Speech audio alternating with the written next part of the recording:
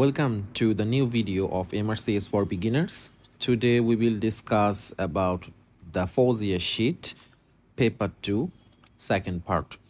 So number 39 questions. A 24-year-old man is brought to the emergency department following a road traffic accident. He has obvious airway compromise due to the mouth or facial hemorrhage, which requires a surgical airway. The surface landmark used to localize the optimal site for a tracheostomy incisions are midway between the suprasternal notch and which of the following? The suprasternal notch and the mid of the cricoid. That is the landmark to do the surgical airway tracheostomy. The answer is the cricoid. Number 40.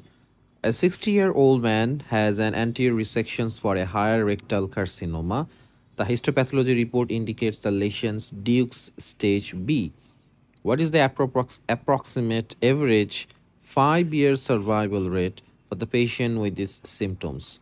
So for stage A is almost over 90%, for B 75 to 60 around or 60 to 80. Duke C is around 1 4 25 to 30 and d is less than 1 so here is b so 60 to 80 so the answer is 70 41 a 20 year old man presents to the emergency department after accidentally tripping over and lacerating in hand on a glass bottle. On examination there is a 2 centimeter resolutions on the hypothenar eminence with a loss of flexion of the distal interphalangeal joint of the little finger. What is the most likely tendon to be injured? Two tendons are most important on the flexor compartment of the hand. One is FDP and one is FDS. The FDS inserted into the middle or proximal interphalangeal joint and it splits between two half. The FDP runs in between it and attached to the distal interphalangeal joint i mean dip in short to uh, memorize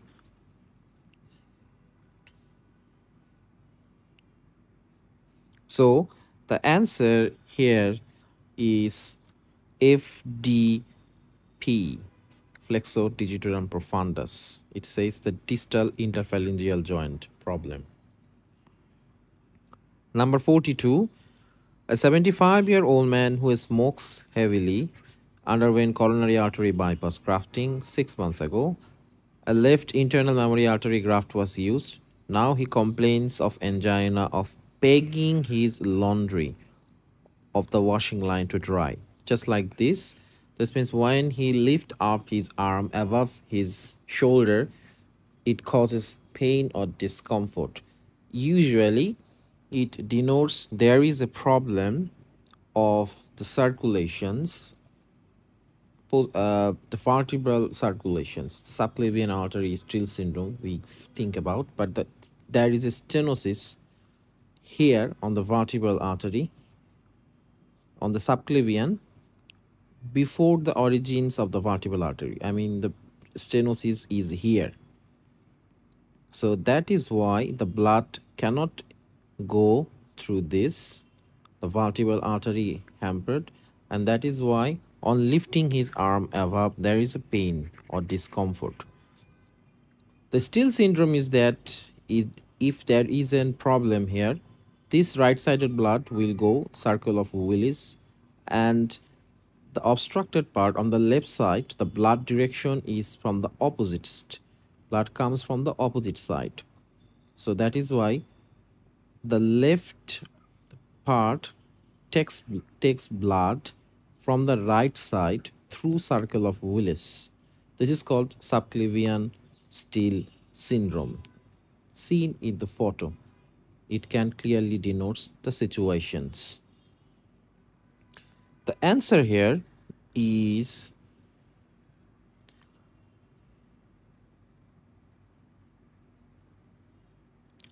Stenosis of the subclavian artery proximal to the first branch. That is the answer. Now 45. A 50 year old alcoholic man presents to the emergency department and is found to unable to extend his wrist, thumb, fingers of his right hand. So, unable to extend. He is found to have weakness, weak extension on the right elbow joint and loss of sensation over the dorsum of the first web space. This is very much important. This is the area first. Uh, this is the area first dorsal space is not innervated so that is supplied by the radial nerve also unable to extend that means the posterior compartment is also lost its function so the answer is the radial nerve 44 a 55 year old man presents with acute back pain following a severe road traffic accident neurological examination reveals lack of dorsiflexions of the left ankle left ankle joint dorsiflexion uh, not working, which of the following spinal cord segment is most likely to be injured? This is a short note. L4, 5 and S1. L4 is quadriceps for the knee. L5 for the great toe or the dorsiflexus of the toe. And S1 is for the ankle joint, the plantar flexions. The question is asked uh, lack of dorsiflexions of the left ankle joint. So the answer is L4, 5 and S1. Mainly consists of L4. So here L4 is here 2, 3, 4 but I cannot uh, we cannot include L2 and 3 because above the knee it is okay or fine so answer is L5, S5, L, L4, L5 and S1. Number 45. A 20-year-old man is admitted to the emergency department with a stab injury to his right chest. Pulse is 110. Under 10, blood pressure low, 85 by 40. Chest X-ray show a large right hemothorax and a very small right apical hemothorax. Which of the first substance secreted in the process leading to decreased renal reabsorption of the sodium in response to above injury. So it's kind of physiological question. Body uh, try to retain water, so the renin will be released in response to reabsorb sodium. 46. A 21-year-old man has been stabbed in the back of the knee, I mean the popliteal fossa, dividing the popliteal artery and is undergoing repair via posterior approach. Which of the following structures is most likely to be encountered first? So we are coming from skin to the deep. So on the skin, first we will approach this structure, the tibial nerve. Uh, but the theme is here, we have to study the popliteal fossa and the contents of it very carefully. The first two gastrocnemius, here is semitendinosus and the biceps femoris at the boundary. The contents from the superficial to deep, we will see the popliteal, the tibial nerve, the popliteal vein, and very close to the knee capsule is the artery. The artery lies deep to the popliteal fossa. Here the answer is the popliteal, sorry, the tibial nerve because it is the first to be encountered.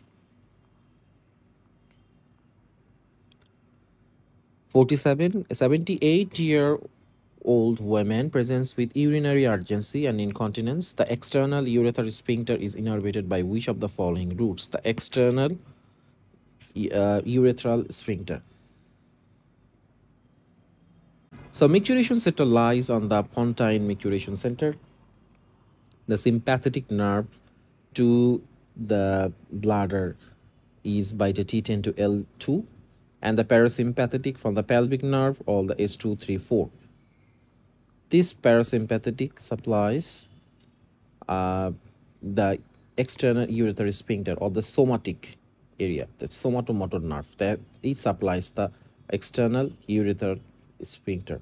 Normally it contracts, but when we try to micturate, we it it become relaxed.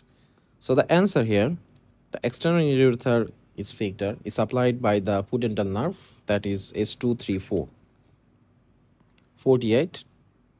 A 40 year old woman present with a parotid tumor. A biopsy reveals perineural invasion. What is the most likely pathology? The parotid tumor has two types, classification benign and the malignant. The most common benign are the pleomorphic and the most common malignant is mucoepidermoid, mucoepidermoid carcinoma. But in adenoid cystic carcinoma, perineural or neural innervation is common. So the answer here is the adenoid cystic carcinoma. But if the question asked what is the most common malignant, that is mucoepidermoid carcinoma. 49. A 19-year-old man was assaulted and sustained injuries to the right side of his head. After two weeks, he notices a dial his right eye is dry and it could not produce tears, from which ganglion postsynaptic fibers arises to supply the lacrimal gland. The in answer is pterygopalatine ganglion, but let's dig into it if, for a few minutes. There are four cranial nerve that supplies the parasympathetic nerve. Notice 3, 7, 8, 3, 7, 9, 10. 3, 7, 9, 10. The 3 oculomotor gives rise to the ciliary, which supplies the eye. The 7 gives rise to sphenopalatine that supplies, that supplies the lacrimal gland and the mucosa of the nose and the palate. The 7 also supplies the submandibular gland and the 9 and 10 the 9 supplies the otic ganglion. This otic uh, supplies the parotid gland. That's most important. And also the mucosa of the mouth. The last one the vagus nerve the 10 is the rest of the body. The parasympathetic supply usually to the heart lung and the gi tract. So 3 7, 9, 10. Also, we also need to memorize what are the other parasympathetic flow. One is the cranial and one is the sacral outflow. The sacral outflow, this supplies to these genitalia, urethra and the rectum. And the sympathetic or the thoracolumbar outflow are this.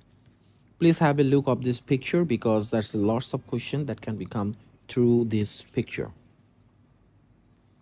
Okay. Moving to the next question, 50. A 35-year-old man undergoes a right inguinal hernia repair under a general anesthesia as a day case.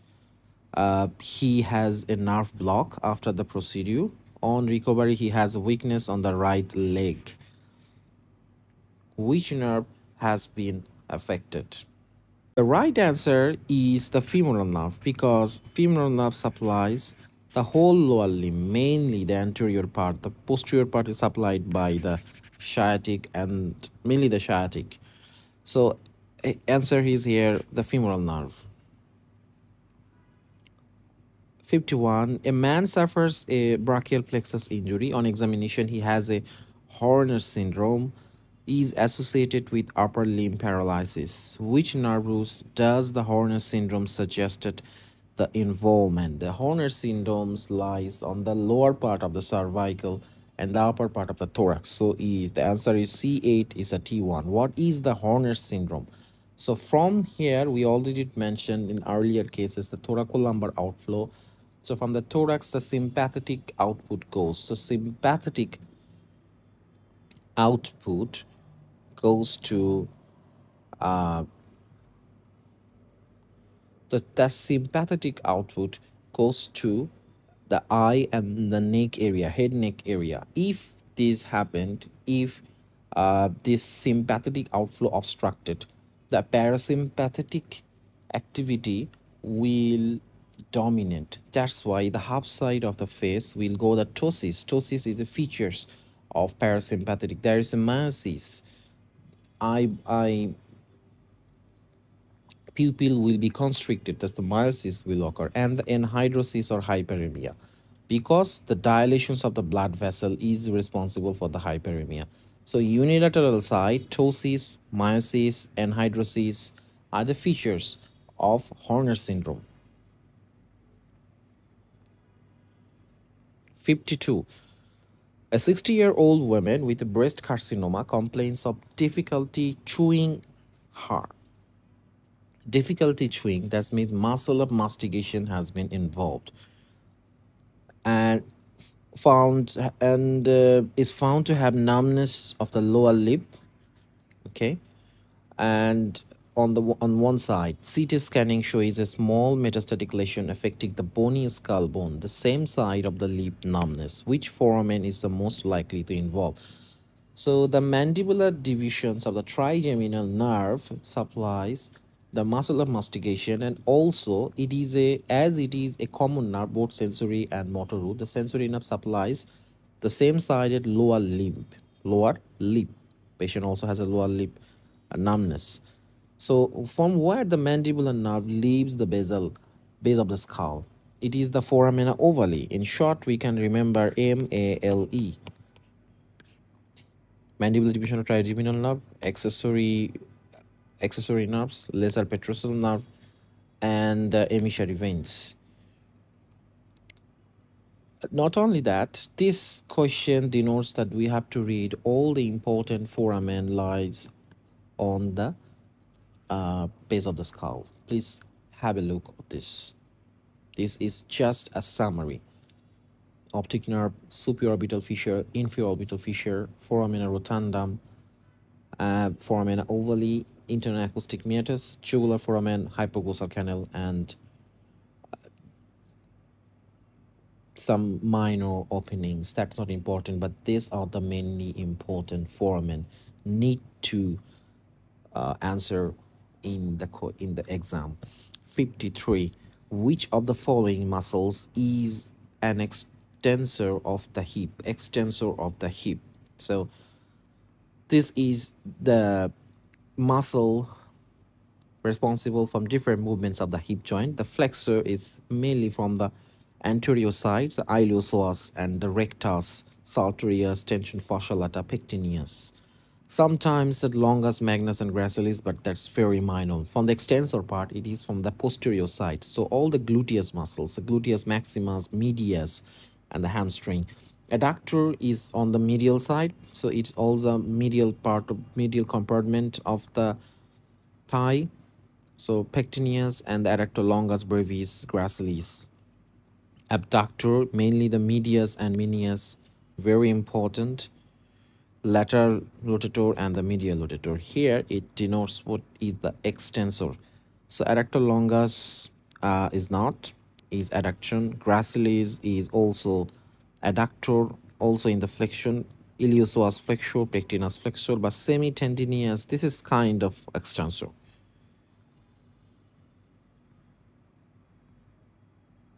Though not primarily is, is it's an uh, at extensor but it helps. Because uh, other options do not uh, help in extensor at all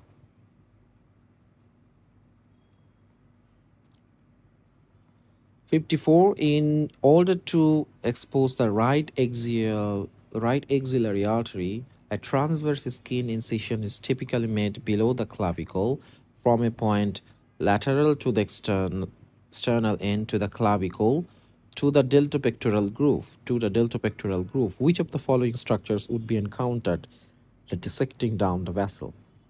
The answer is thoracolumbar artery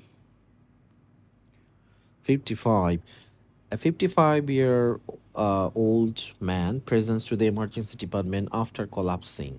So on examination his pulse 120 blood pressure 60 30 hypotensive respiratory 34 beats per minute and his peripherals are warm. So his patient is in, in shock as the peripheral is warm. So just go for the sepsis because of vasodilatations, peripheral vasodilations. 56. If the peripheral was cool and calm, what could be the answer? We could think about most probably hypovolemia. Also maybe cardiac, but mainly hypovolemia or hemorrhagic, all the same. But if warm, sepsis, without concerning and without any confusion.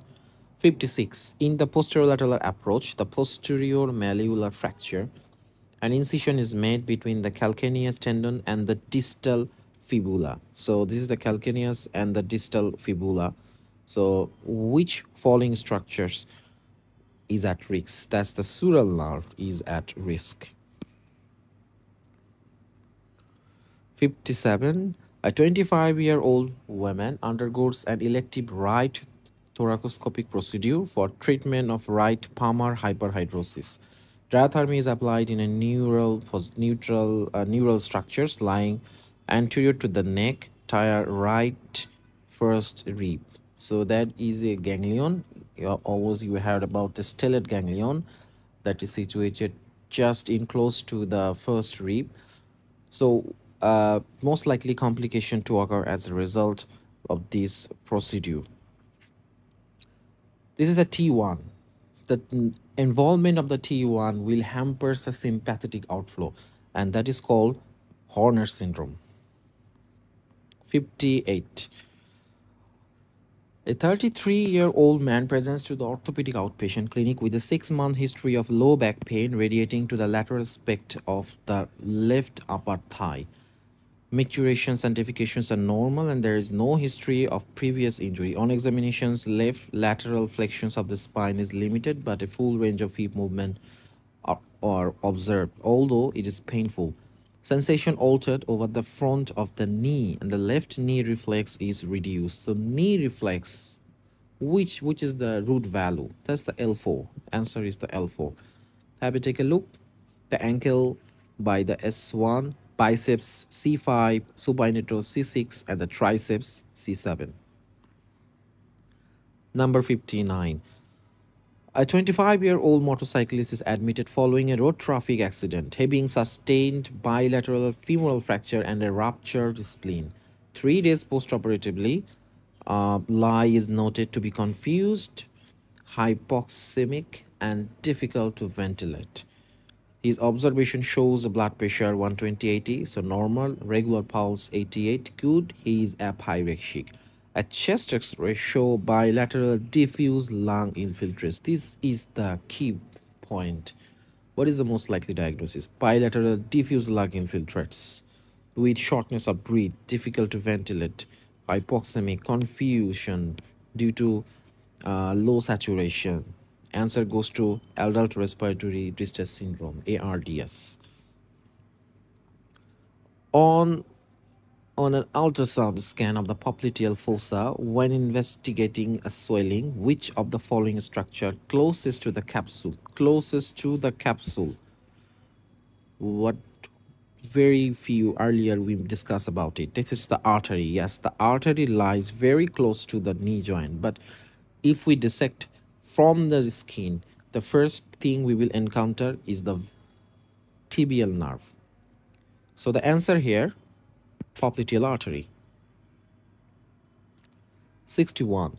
25-year-old man sustains a twisting injury while playing football. He develops immediate swelling, immediate swelling of the knee joint, important.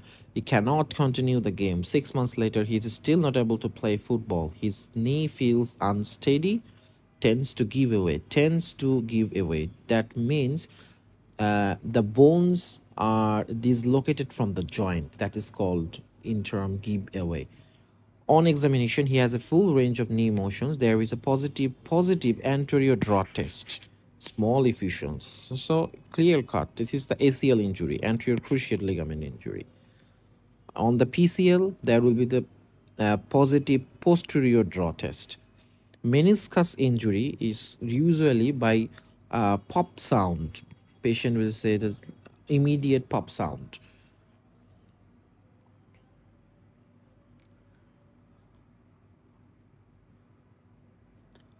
A 62-year-old man required a partial gastrectomy for a large benign ulcer in the gastric antrum.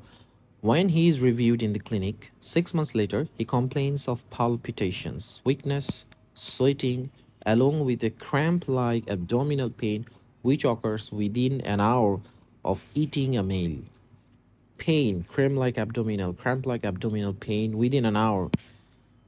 He has to lie down for 30 to 40 minutes until his symptoms subside. What is the most likely cause of this pattern? So the answer is the dumping syndrome. So there is two types of dumping syndrome. One is the early and one is the early and one is late. So when the food bolus goes to uh, goes to in in the guards it draws a lots of fluid into it. And as the patient has been resected a short bowel this food bolus will go to uh, causes diarrhea immediately. So diarrhea is an early dumping syndrome. Also the fluids are lost from uh, the fluids are lost from the body cavity. So his bp will draw as a result patient will have a tachycardia and he will feel dizziness. So that is why he will lie down. It says in here that when he lie down it feels better. And after a few hours the late sim late dumping syndrome will occur as there uh, when the food goes into the lumen in pancreas is stimulated and it secretes uh, lots of lots of insulin. But after a few after a uh, few uh, minutes or hours that glucose will enter into the cell. But still in the blood there is high rise of insulin. The insulin concentration is still in very rise because pancreas was suddenly uh, stimulated secret insulin secret insulin. So without thinking the amount he secretes a lots of insulin. This insulin will cause hypovolemic shock. Sorry, uh, hypoglycemic shock. So hypoglycemia is a features of lead dumping syndromes. Diarrhea, dizziness, these all are early dumping syndromes. Okay. 63. In septic shock, noradrenaline used to increase the systemic vascular resistance. This action is result stimulation of which uh, which of the following? The in the shock, body try to increase the systemic vascular resistance. So on the vascular contractions of the valve is alpha 1. A 56-year-old man presents with acute epigastric pain and vomiting. On examination, he has guarding on upper abdomen and his blood test. So guarding means, yes, there is um, uh, either, either perforations or any inflammations. So acute abdomen, features of acute abdomen. So what is the blood result? His amylase is very high, ALT okay, ALP okay, albumin okay, gamma, gamma is very high, bilirubin okay, triglyceride lit high. So patient is suffering from what?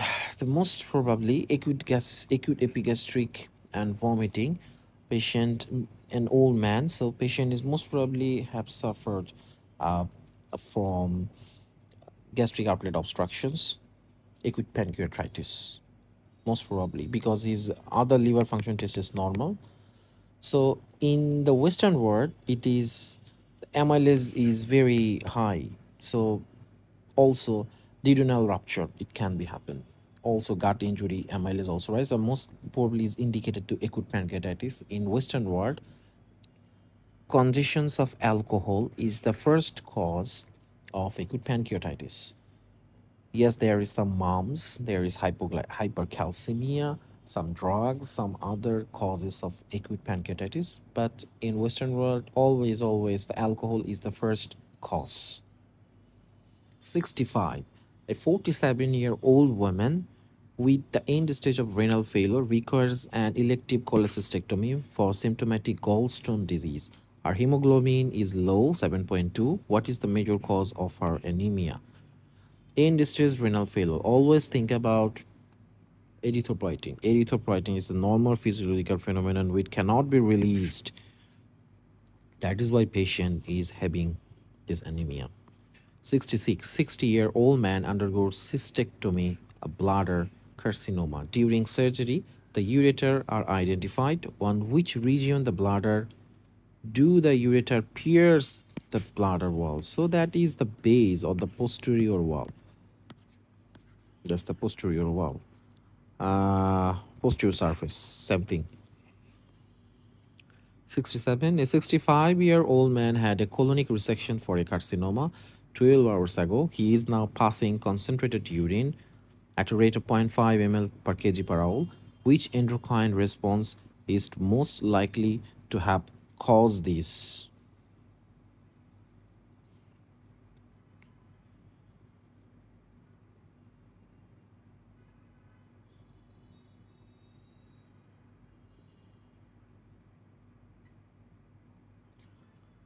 As the patient has uh, lots of blood loss during operations because colonic resections, so body will try to intend to uh, try to catch the water, free water. So that is caused by vasopressin, ADH. The answer is E. All 68. A 28 year old man presents with an ischiorectal abscess. Where is the abscess cavity is likely to be situated? Okay, just look at the picture here. This guy is ischiorectal fossa and all the external or internal muscles are lies medial to it. But this is the pudendal canal. This pudendal canal lies lateral to it. So this is medial to this and this fossa is lateral to this. Above the levator ani, no. Between the external internal canal canal, no. Lateral to obturator internus, no. Medial to the internal anal sphincter, no. Medial to the pudendal nerve. Yes, the answer is the E. 69. A 36 year old man falls on his outstretched right hand. Examination reveals tenderness in the anatomical snuffbox. Which of the following tendons forms the boundary of the anatomical snuffbox? Anatomical snuffbox. Very important. The border is formed by the EPL, extensor pollicis tendon, and the lateral border formed by two tendons, EPB, extensor pollicis brevis, and abductor pollicis longus. Proximal styloid process of the radius. Floor is formed by the carpal bones, scaphoid, and trapezius. The content is important, radial artery, superficial branch of radial nerve, and the cephalic vein. Now, which forms the boundary? Abductor pollicis brevis? No. Extensor carpi radialis? No. Carpi radialis? No. Extensor indicis? No. Extensor pollicis longus. That's the answer. 70. A 55 year old woman complains of cramps and tingling of her legs and arms 48 hours following a subtotal thyroidectomy. So, subtotal thyroidectomy, uh, also the parathyroid gland will also remove. That way, hypocalcemia may occur, and that is why symptoms cramps and tingling of arms and legs.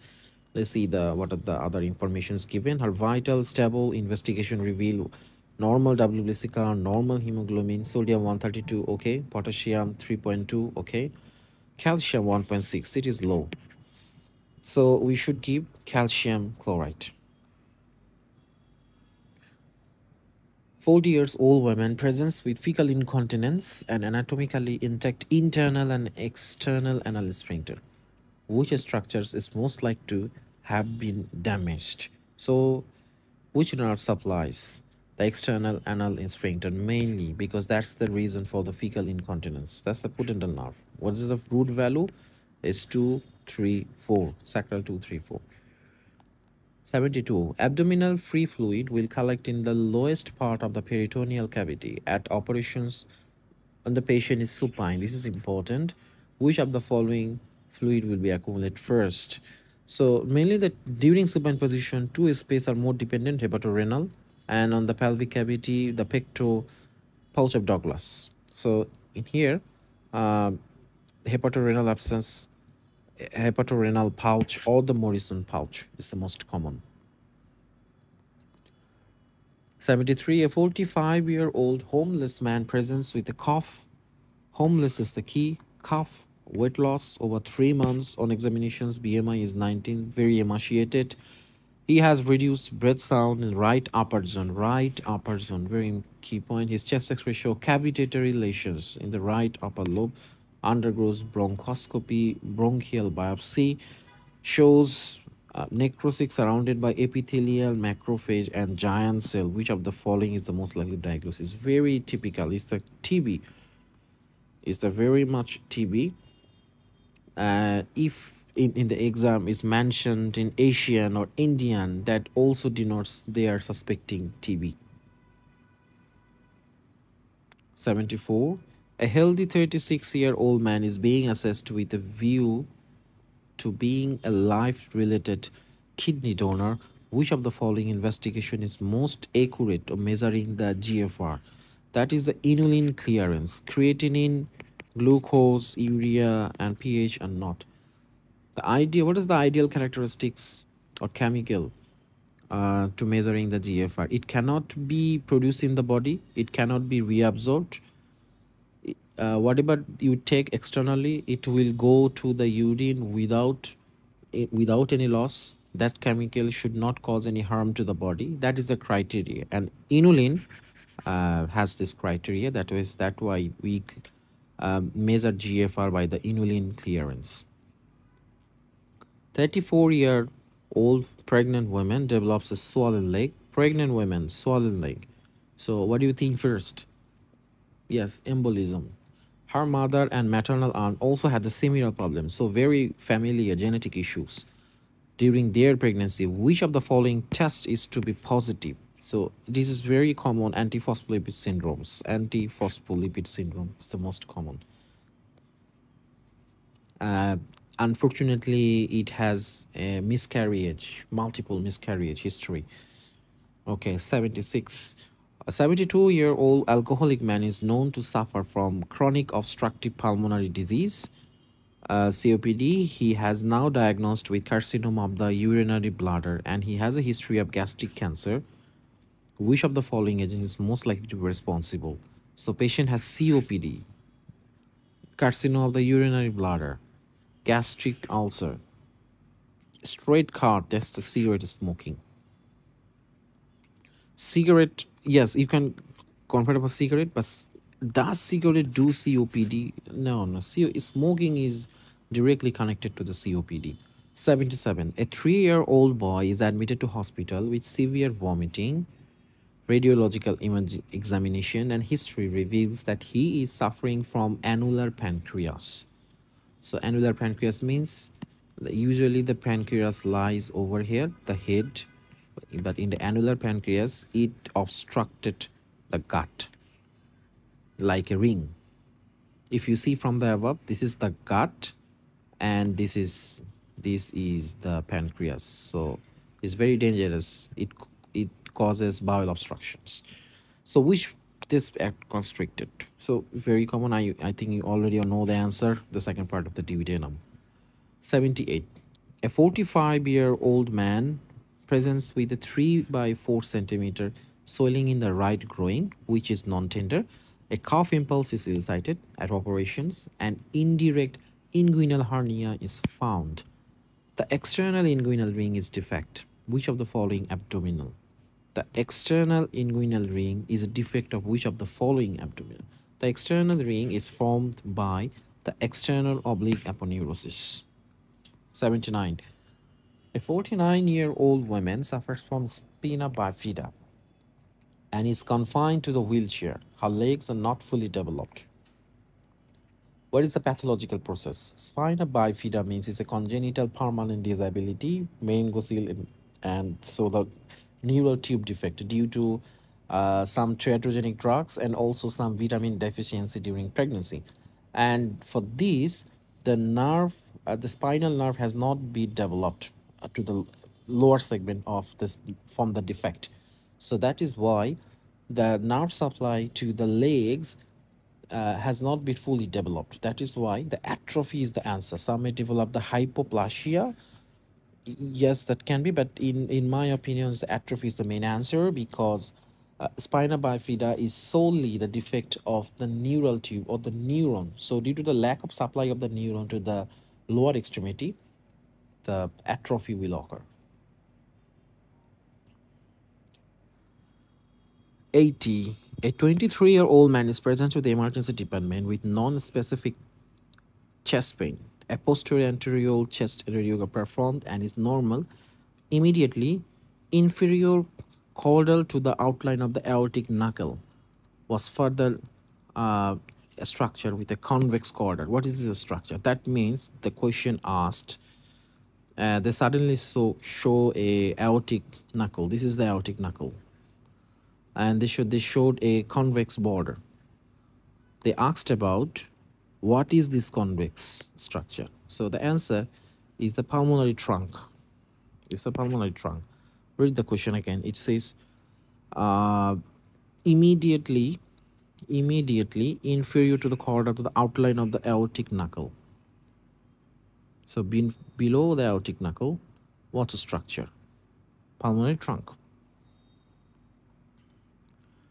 A 45 year old woman presents to the hospital with a jaundice. She undergoes an ultrasound scan and is diagnosed with a hepatocellular carcinoma affecting the left lobe of the liver. Which virus is the most likely to be? That's the hepatitis C virus, hepatocellular carcinoma, 45 years old. It's a very common uh, hepatitis, hepat uh, hepatitis C virus. But is the hepatitis C here? No. Then the hepatitis B is the answer. Hepatitis B virus. Okay. 82. An 82 year old man has completed occlusions of the inferior mesenteric artery on angiogram, but no symptoms, signs. So that means the inferior mesenteric artery supplies the descending colon, two thirds of the, uh, uh, sorry, one third, two thirds of the transverse colon, descending colon, and the sigmoid colon, but is obstructed, but it's still there is no sign and symptoms. So pulmonary ischemia. Which of the following arteries is the most likely additional source of blood supply to this territory of the inferior mesenteric artery? So that means inferior mesenteric artery got anastomosed with some some some another artery. So that will compensate the obstructions of the inferior mesenteric artery. That is the middle colic artery. You already know the marginal artery. Uh, Drummond artery, marginal artery. Uh, if you can see the images, you will see there's an arcade going all through uh, from all through from the colon side. So that is the main reasons the medial colic artery compensate the losses of inferior mesenteric artery. So that is the end of this video today. I hope in the next video we will start from the 83 number questions please check out the other videos of my channel. If you like it you can subscribe it and share it to your friends who might be helped uh, by watching the contents. Thank you very much. I hope we will see you in the next video. Bye. Bye bye till then